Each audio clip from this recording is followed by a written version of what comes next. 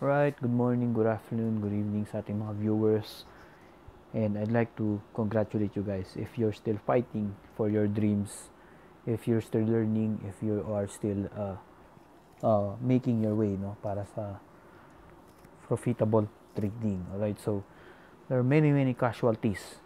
I say unto you, 2018, marami na rin dyan yung discourage, marami na rin yung kanilang na discontinue itong kanilang pursue na maging trader. And if you're still one of the few that's still listening to this uh, video, I'd like to congratulate you guys.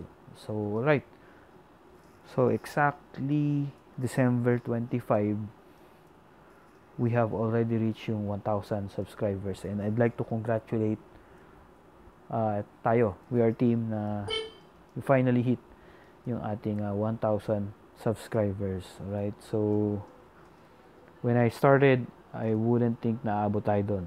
Right? So, I was thinking like about mga 20 to 30 subscribers the best yung mga mag-review ng ating uh, channel but eventually marami rin naman pala yung nakarelate and nag-resonate yung uh, mga lessons and especially yung mga watch list natin ay naabangan weekly right so we're currently still growing as I'm so I'm speaking so hindi pa natin what the uh, rate kung ilan tayo makakaabot na 2,000 or kung makakaabot ba But before we start, uh, we'd like to check out kung ano yung mangyayari this January, ano yung mga stocks or yung mga near-term event na could trigger yung mga stocks nating binabantayan. So, alright. But before we do all those analyses, I'd like to have ating quick word from the sponsor. This comes from Psalm uh, chapter 90 verse 12. So teach us to number our days that we may apply unto our hearts wisdom.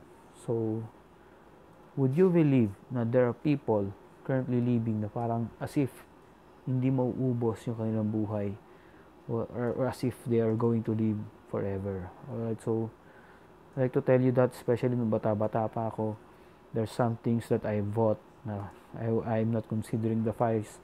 Basta binibili ko lang yan. But medyo as I mature, as I grow, medyo tinitingnan ko that is not a wise investment or mga bagay-bagay na binibili ko na parang hindi naman ganun yung value no? So especially no? So dumaan din ako sa panahon na there are times that I am drinking right? Especially if uh, magigising ka kinabukasan medyo may hangover ka right? So hindi magandang uh, value rin naman yun especially if madalas so medyo tapos na rin ako sa stage na yon And not only that, right? So, minsan, pagka ganun din naman lifestyle mo, uh, health-wise, hindi rin naman maganda.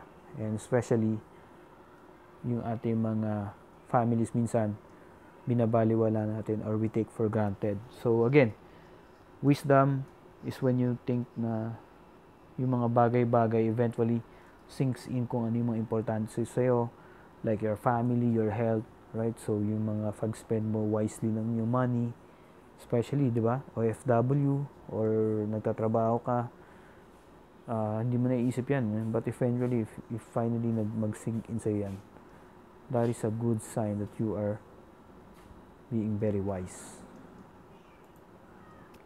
Right? When we know for a fact that our days are numbered, we would make a much, much more wiser decision. We would appreciate more of the things na currently we are taking for granted. So with that, I am encourage you guys to read your Bible daily. Right? So start very very little like mga 1 to 2 paragraphs lang and eventually you will uh, be quite surprised no nakakatapos ka ng mga half page 1 page 2 pages or 5 pages and so on right so maraming key lessons and insights na you think you already know but once you start reading magugulat ka kung gaano ka profound and valuable yung mga lessons in life dito sa Bible. Right, with that, start our PSEI recap. We shed 13 points, currently closing at 7,466. And from what we see, price action wise, uh, PSEI is currently consolidating at around uh, 7.5 or 7.4 area. And mapapansin natin, last week kahit 3 trading days lang we're currently expecting sana malakas yung exit ng pera. But currently we did observe na yung outflow for December especially on the third and fourth week ng December is rather weak. Right? So is that good? Alright that is good so kahit naman hindi nag-advance yung mga stocks but once the selling stops there's a big big chance na yung upswing or yung uptrend is magre-resume alright so we might not see yung stocks rallying upward but I think the outflow or the exit of the money is hindi naman din ganun kalakas as we expected it. Alright, with that, we move on to nga sinasabi ko sa inyo currently no price action wise we currently seeing na yung uh, around 7.4 area is currently the big uh, the midterm support ng ating uh, PSEI which is good Right? So, it's currently respecting yung 7.4 and maganda rin naman timing yan, especially if the index names uh, once we hover at around yung 7.4, 7.420, magandang pasukin na rin yan in yung mga position. Right? So, it's currently January ngayon and we should be very very observant because critical itong January for most of part of the first quarter second quarter. Right? But before that we have the move of the week which is currently by surface no? 9.15 percent. This is the the day no? Nag 9.15 percent siya in one day and that is very very good. Alright so I have a much much detailed uh, explanation dito sa surface sa ating isang uh, video yung ating chart quick and you might want to check out itong surface and we clearly identified it before its uh, movement no na nangyari and hopefully we're able to gain profit dito sa surface. Alright so we now move on sa ating uh, January sentiment for the first week. Uh, it's going to be a neutral no? So I have a big big uh, intuition uh, uh, third week of and fourth week of December we would have a very uh, illiquid market and malakas yung outflow alright? So right illiquid siya but yung outflow hindi naman doon kalakas. So from our uh, very uh, or cautionary standpoint we are now going to move in a neutral uh, rating no so I think uh, if not no if not nag uh, rebalance na rin naman and from the looks of it, mukhang magkakaroon ng rebalancing. So, we are currently trying to anticipate yung tinatawag natin na January effect. Right, January effect, uh, I, I, I do not think if you are already heard this, kasi most of the funds, if not, nakapag uh, strategize na and they're going to implement this, no? Especially during the second or third week and we should be observant kung ano yung mga mangyayari or the stocks that is going to pick up momentum because it could uh, go off to first week and second week or I guess second quarter first quarter and second quarter easy no so mga setup or mga setup na hinahanap natin no so once a year lang naman magkakaroon ng month na January and we should try to anticipate itong January effect right So, that is more of a psychological thing. Kasi nga, uh, nagkakaroon ng abangan. You know? What the big funds will do, retailers will follow. And eventually, it will build momentum, a fund momentum. And mas madali siyang sakyan, no? Kumpara sa ating mga intraday moves. Kasi you have a lot, lot of time to enter and to pick your uh, exact entry point pagka ganyan. So again, uh, overall, we should be very, very observant. Uh, take the market as very neutral as possible. And yung mga biases mo muna, isang tabi mo muna. No? Right, so that's a sentiment for January. And uh, one of the key things, no, I'd like to point out to you na do not compare yourselves to others, no, especially this 2018 uh, I like to, to compare yourself sa sarili mo before you were starting, especially one year ago, two years ago, how much have you already progressed, no? Compared to yourselves. Especially, nung nag-uumpisa ka, inaalam mo pa lang yung mga graphics interface ng broker mo, inaalam mo pa lang yung mga stocks, or especially, yung mga sa index pa lang yung mga inaaral mo. So, wag mo i-compare yourself mo sa mga iba na pinapanood mo na which is they're, they're posting like uh, 50%, 100% gains, especially hindi mo rin naman alam kung gaano naman katotoo yun or is, uh, is that sustainable? Baka pa pwedeng mangyari lang once a month next month puro talo naman which is hindi naman din naman pinopost so like have a, have a healthy no healthy sense of kung ano yung dapat mong i-follow so again don't compare yourself to others but compare yourselves to much older you no nag-progress ka ba or mas lumala pa ba? 'Di ba? So that is one of the key things na pwede kong i-advise sa inyo. And again, we should now move on sa ating uh, tawag dito, mga watch list. Alright, again, anything that you would hear at this point in time, uh, this mere probability, no? I'm just here to generate ideas, bounce yung ideas sa inyo, reflect, confirm or deconfirm. Alright, so nothing, nothing in this presentation is 100% na mangyayari. Kaya nga, I'd like to to decide for yourself kung ano yung mga papasukin nyo. Right? Kayo yung magdidesisyon. This is your like yung parang uh, sabi na natin na reviewer nyo. No? So again, ISM from the last week, ang sabi ko, it's quite, quietly sitting at the support and maganda nga, right? So kasi nagpakita na naman ng konting interest, no? It make a small small wave, no? Itong ISM, then that is good, no? So currently, if you could catch this, especially at around 5.86 area, right? That is a strong strong buy, right? So I do not think na magkakaroon pa ng shakeout tong ISM. And make no mistake about it, this is a news-driven stock. anything that is related to ISM, magkaroon ng disclosures, papa, papalo na naman to. Right? So, it might revisit again yung 52-week high and these are the one of the stocks that uh, is currently we are watching no, tong ISM for any uptrend move. And isa pa sa kanya, it has already consolidated and one of the things that I, I observed dito sa ISM uh, it consolidated hindi din naman yung pullback na dire-diretso but more of a horizontal type of uh, consolidation no? which is good right so that that means uh, that sellers are drying up and it is bound no to to make another move and the risk to reward at this point in time is maganda.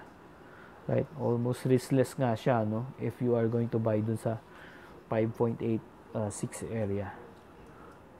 So again, uh, I hope you are having good ideas no sa mga implementation execution ng mga sinasabi ko sa inyo because uh, since I started it almost lahat naman ng strong momentum's name nahuhuli natin before the movement. 'di ba? Right? So pwede nyong reviewin yan yung lahat ng mga videos. Mapapansin nyo yan no? before start of something big if not if not all no? Siguro mga 50 at least 60% nahuhuli din naman natin. Right? So I hope you are capitalizing on this. Because nung nag-uumpisa ako tulad nga na sinasabi ko sa inyo walang mga ganitong channel right? So if you are not yet subscribed you might want to subscribe or hit the like button alright? So capitalize nyo guys itong mga sinasabi ko sa inyo because nung nag-uumpisa ako walang ganito talaga. So mahirap mag-generate ng ideas especially pagka mga ganito market na 3 days lang or very very uh, sleepy market. So again next on our watch list is CPM alright it's currently approaching a considerable resistance at this area alright so Now, at this point in time, it has considerably uh, consolidated no, sa area na to. and I want you to buy on buy this on break. So kung bibili ka ngayon sa current price niya, medyo risky, no? Baka mag-pull back kasi and maiwanan ka doon sa itaas. It's either bumili ka on the pullback or you buy this on break. Itong CPM and medyo ano kasi when it approaches yung resistance, medyo nangihina eh, no? There are sellers meron mga nagbebenta doon and maganda muna na magkaroon ng confirmation na mabibreak niya yung current 52 week high before you buy or if not sa pullback ka na lang bumili no so parang medyo saucer maganda rin naman tong pattern na to saucer siya and this is a good good uh, setup pa rin naman no? so again if you are a lone trader or nag-uumpisa ka mahirap, no? Mahirap ma-ispatan tong mga ganitong CPM. Especially, marami, no? Marami kang makikita magliliparan araw-araw. And if you are not uh, following yung mga ganitong stocks or wala kang watch list na very reliable, medyo mahihirapan ka hulihin lahat, no? So, ako nga dati hirap na hirap ako, no? Kung saan mapupunta yung mga fera, madadivert yung mga team, nahihirapan ako. But eventually, uh, nakuha ko rin. Medyo gumanda ng gumanda yung kanya, aking uh, watch list. Kasi, di ba guys, when you come to think of it, kapag maganda yung na-produce mong watch list, especially, lahat yun puro nagtaasan, what is the likelihood na magiging profitable ka? That is very, very high. Ba? Tama? Kesa sa watch list mo, may watch list ka, puro naman pabagsak. Eventually, wala, wala ring uh, magiging masyadong bearing yung, yung entries. Kasi nga kung lahat yung pababa, eventually, kahit na anong gandang execution mo, sa so wala din mangyayari kasi in the first place, yung watch list mo is hindi naman din ganun ka-effective.